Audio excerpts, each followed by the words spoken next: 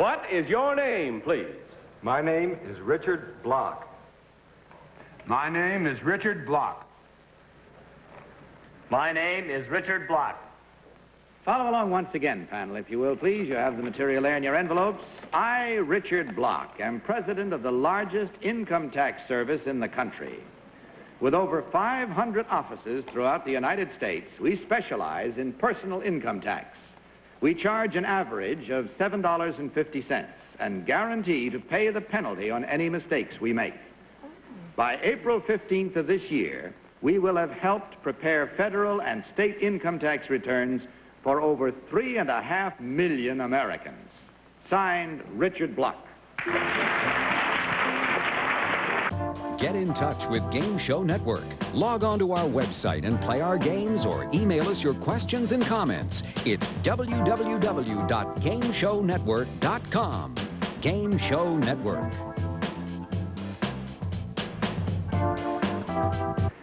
Very well. These three gentlemen all claim to be Richard Bloch, income tax very specialist, I think you could say. We'll start this round with Peggy Cass. Peggy? Uh, number two, uh, what's your company called? H&R Block. Thank you. Number three, how many employees do you have? Oh, about uh, 30 in each office. So that'd be about 1,500, 1,600 employees. And number one, you just have to pay seven and a half dollars, even if you make a million dollars a year, that's all you charge?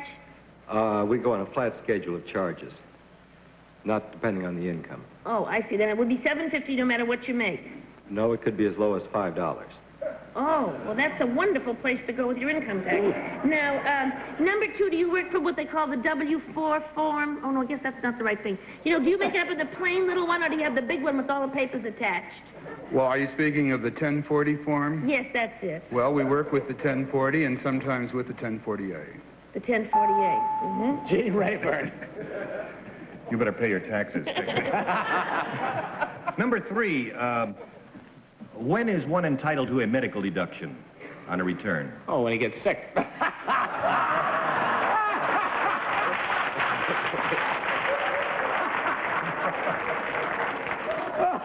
You don't understand my question, uh, number three. number one, uh, if a person is in a 60% bracket, what does that mean? Uh, uh, he pays 60% tax on his top dollar income. Uh, number two, what is the salient feature of the new five-year averaging plan and the new tax? The important yardstick. Well, actually what it is, is that you can spread your income over five years. For instance, you as an actor who may earn. And. Who may earn. But not tonight. Kitty Carlisle. Number one, do you give advice on the air? Now, like to me?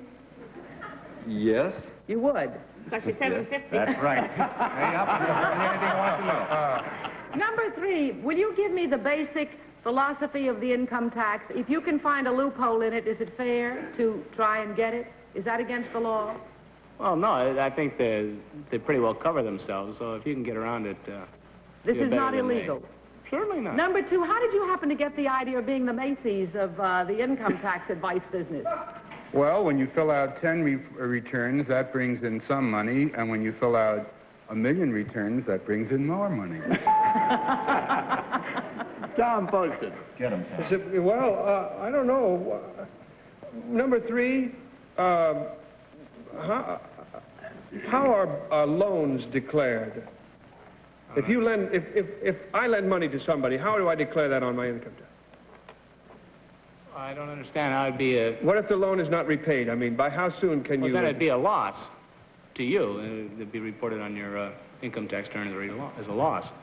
Can you declare that right away? As soon as you lend the money? No, you have to lose it first if, if you don't think that person's going to get it. I have unsuavey friends. Well, number one, how soon do you know it's lost if you lend money over a period of time? How soon do you know As soon as lost? you can prove it's a bad debt.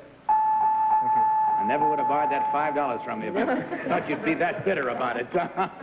and the time is gone. Just a hint, friends. For any further information, if you will, please mark your ballot. Now, without change, no consultation, of course, as you well know. Simply vote for number one, number two, or number three. I haven't voted yet at all. Well, do so, They call please. hardly. All right, Tom, for whom did you just vote? I just voted for number three. I thought he was responsible for a really good laugh on the show, and I like that in him.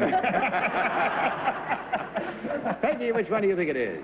Well, I voted for number one. Now, he's got a tan, and if he's really doing those tax returns, he shouldn't be in Florida. He should be in his office working. But when he said top dollar, there was something real money about that sound, so I voted for him. Gene Rayburn. You should have given me half of your vote because I was was responsible for half the laugh there, pal. I voted for number one. Oh. there will be no audible manifestations of approval or disapproval from the audience, please.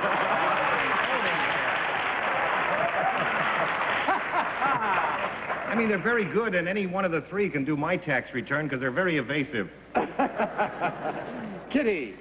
Well, I voted for number two. I thought number one could have been a CPA. He sounds like a very serious fellow, even though he has been to Florida. But I thought that number two had, had the right idea about the multiplication of, of money, and uh, even I understood that. And number one said he'd give me advice on the air, and I don't think that's legal. Well, that's interesting. You've come to a really widely split vote tonight for the first time. Let's see what that leads us to, shall we? As we come into our own particular charmed circle of truth to learn now whether we can stare it in the face evenly or not, as we learn which of these gentlemen actually is the owner and operator of a very special income tax company.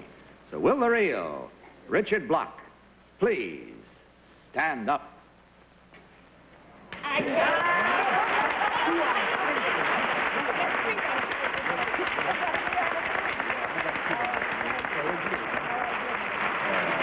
Oh, thank you very much, sir. Thanks for being with us, and a happy, busy season just ahead for you. Number two, what is your real name and what do you really do? My name is Mort Mogul, and I design dresses for Parnes Feinstein in New York.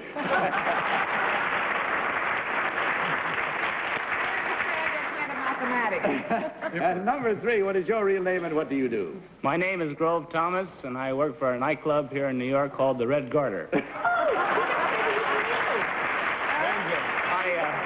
Gentlemen, we checked the score and find that you did the best of any of our groups tonight. There were two incorrect votes at $250 each. That's $500 coming your way from Addison. Of course, a gift product of the fine products from the makers of Addison as well. And our sincere thanks to you for joining us. We hope you found it worth your while as well as we did. Goodbye, and God bless you.